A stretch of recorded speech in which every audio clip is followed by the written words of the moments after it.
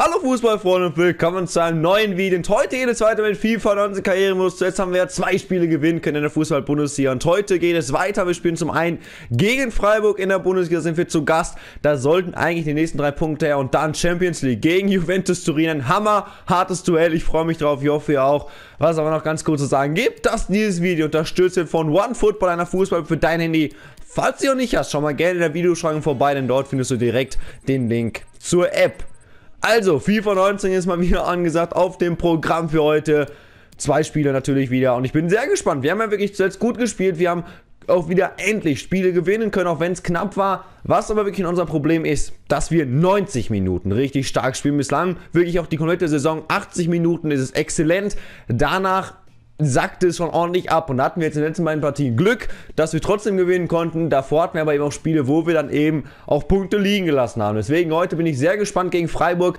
Aber normalerweise müssten wir es wirklich packen. Natürlich müssen wir auch heute wieder ein bisschen rotieren, denn wie gesagt, es ist englische Woche angesagt. Wir spielen Champions League gegen Juve und da brauchen wir einfach alle unsere Top-Spieler. Deswegen heute auf jeden Fall, ja, Rotation. Also ich würde sagen, Stamboli und Sané packen wir rein in die Verteidigung. Nastasic bleibt erstmal drin. Da würde ich sagen, nehmen wir dann noch, wie wir es schon zuletzt auch gemacht haben, Todibo mal mit auf die Bank, dass der dann vielleicht eine Chance bekommen wird. Dann auf der 6er-Position heute Oma Mascarell. Rechts würdig Heute mal gerne Steven Skripski. Von Anfang an sind im Real Life, hat am Wochenende seine ersten beiden Tore erzielt für Schalke. Ich feiere den Typen einfach.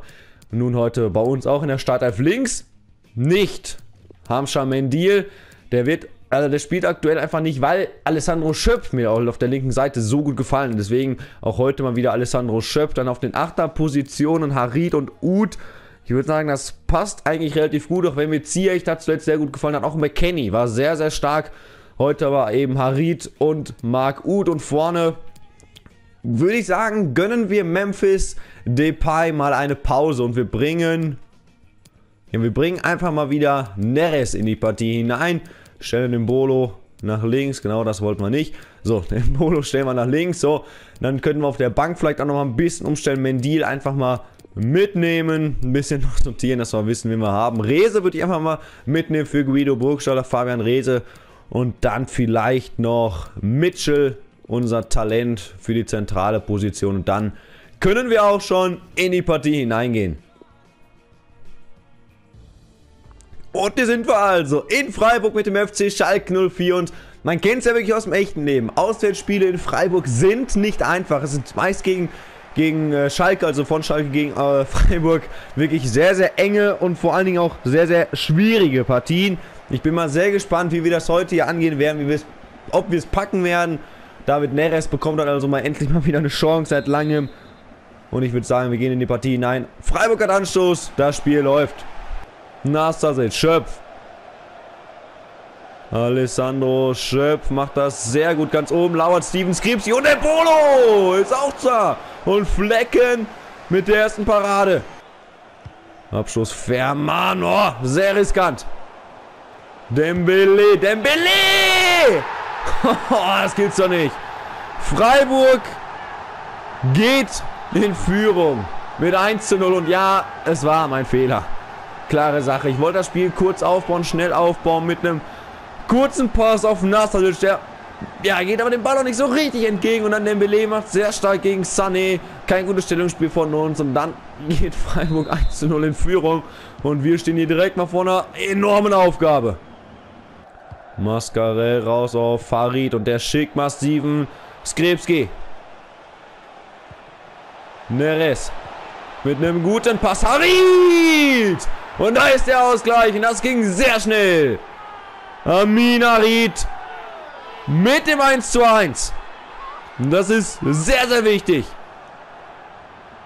Klasse von Skripski, dann Neres Super Vorwärts und Dari trifft ihn natürlich optimal. Eigentlich trifft er gar nicht so gut, weil er nicht ja, wirklich viel Bums hinterbekommt, aber dadurch extreme Präzision. Flecken ohne Chance.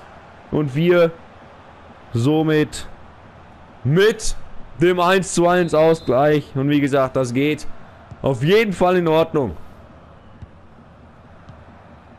Und so kann es natürlich jetzt gerne weitergehen. Also noch vor der Pause ausgeglichen. Das ist sehr wichtig dass wir eben dann in die zweite Hälfte gehen können mit, ja, vielleicht einer Ausgangsposition, wie wir sie am Anfang gern gehabt hätten. Und das ist gut gespielt. Mascarell nimmt Embolo mit. Klasse gespielt. Brel Embolo, Brel Embolo. Aber immer noch heiß und Schöpf. Warum denn nicht? Und nun ist hier also Pause. Also 1 zu 1 in Freiburg. Ja, ist natürlich schon ein Ticken zu wenig. Wir wollen hier mehr. Ich würde sagen, wir wechseln nun auch mal aus. Bringen Suat, Serda in die Partie und vielleicht auch Todibo für Nastasic. Und dann können wir auch schon in die zweite Hälfte gehen. Wir haben Anstoß. Weiter geht es hier. Natürlich mit dem klaren Ziel, das Ding zu gewinnen. Suat Serda, Mbolo. Und da ist wieder Aminarit. Aminarit! Und Serra, Pfosten und Neres vorbei am Tor. Bolo.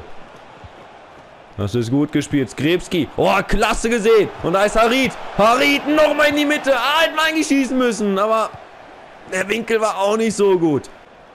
Und so hat Serra. Mascarell, Serra. Der sehr auffällig ist bis hierhin nach seiner Einwechslung. Und Ecke gibt es. Wir sind hier dran. Alessandro Schöpf bringt den hinein. Und der kommt gut. Embolo. Oh! Gute Chance. Nochmal Rave. Schickt da Nils Petersen auf die Reise. Der gegen Salif Sané, der das gut verteidigt. Trotzdem Freiburg noch im Ballbesitz. Und die Chance! Und wir haben Glück. Dicke Chance. Und auch das ist gut gespielt. Todibo haut sich da rein. Gut gemacht. Und wieder Suat Serda. Harit.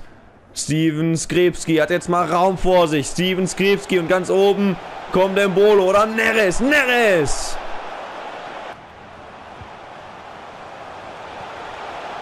Und Petersen und Sané, das war sehr wichtig. Und leitet so vielleicht auch eine Umschaltchance. Ein Embolo, wenn er den besser spielt. Dann ist Neres durch. Ärgerlich. Hassane verliert da den Zweikampf. Moment nochmal Freiburg, aber Serda. Der haut sich hier in jeden Schuss rein. Mascarell, kriegt er den? Leider nicht.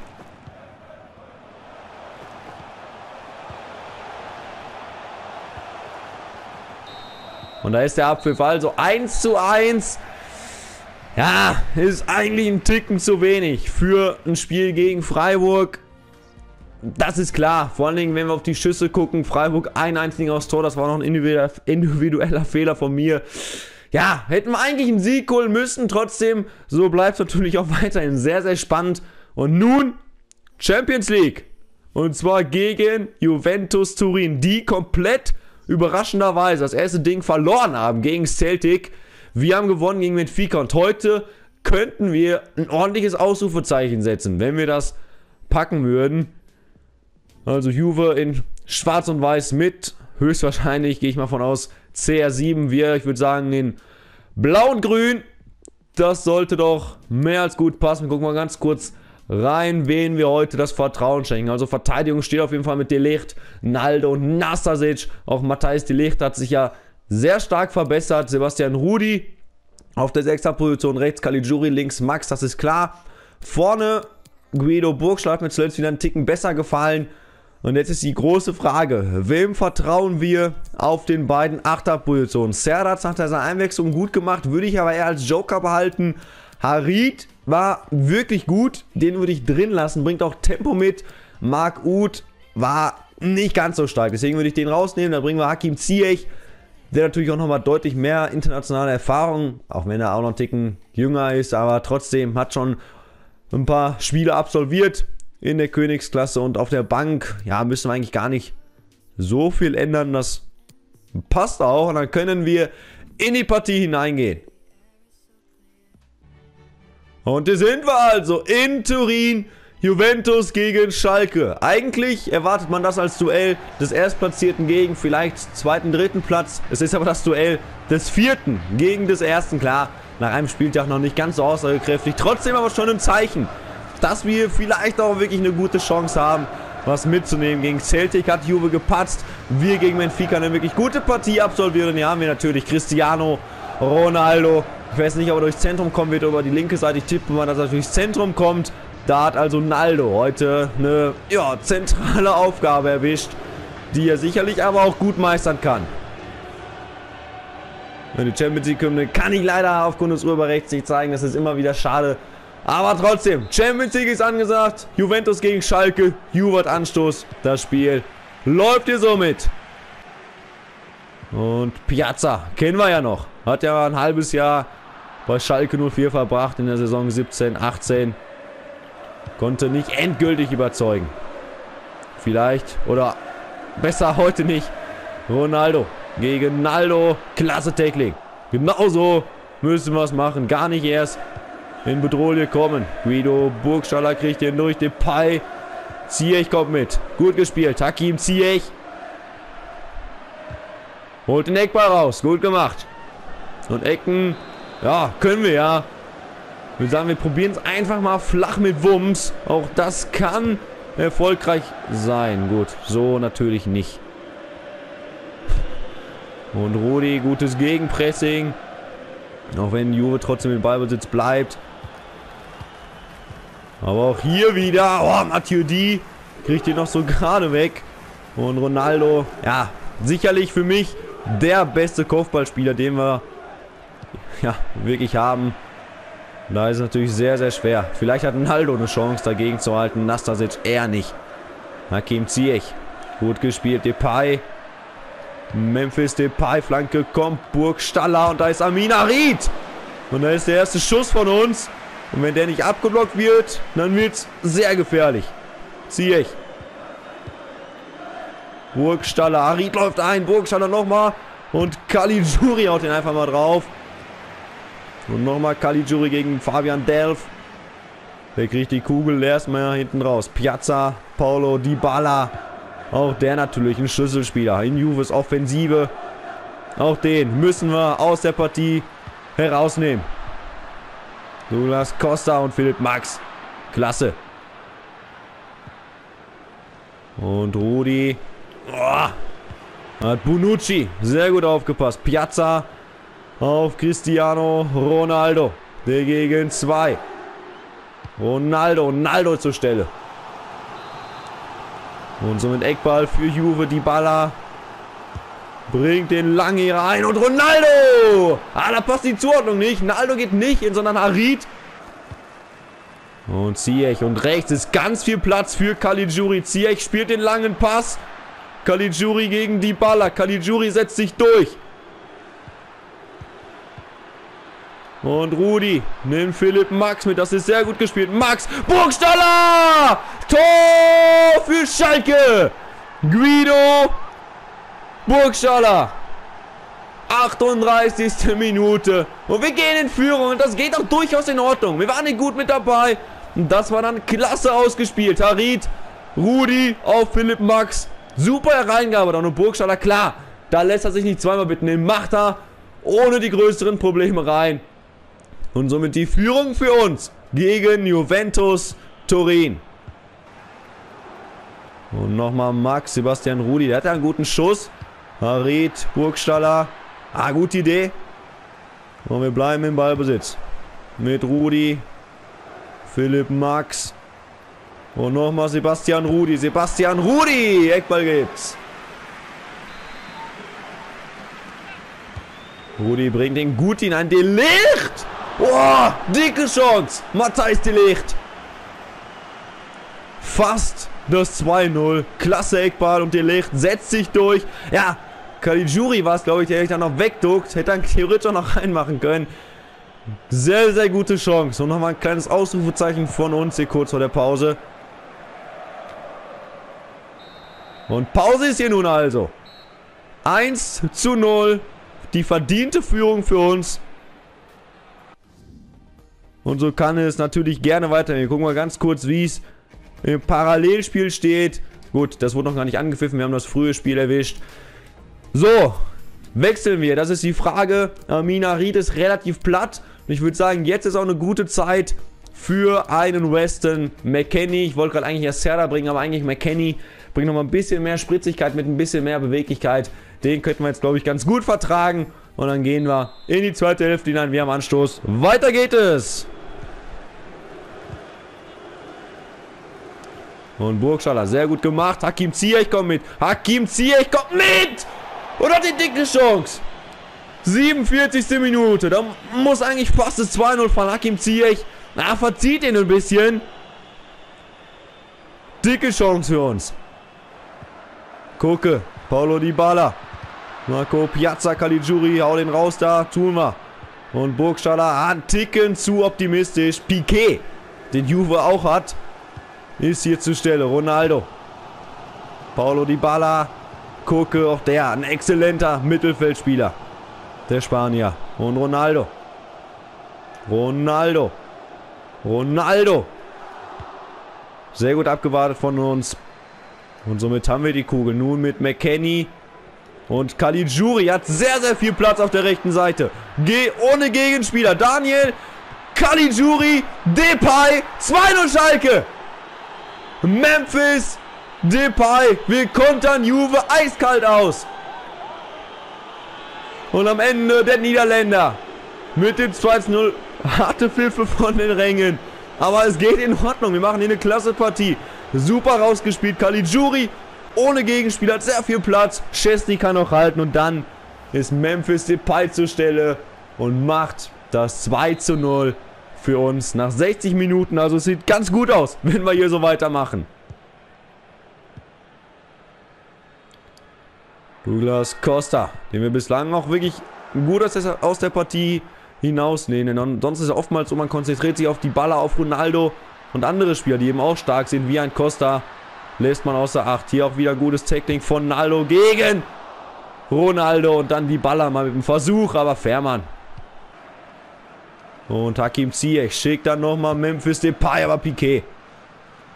Ist ja leider zur Stelle nochmal Semi Kedira. Ronaldo ohne jegliche Torgefahr. Aber das ist sehr gut gespielt und Fährmann. Klasse Parade.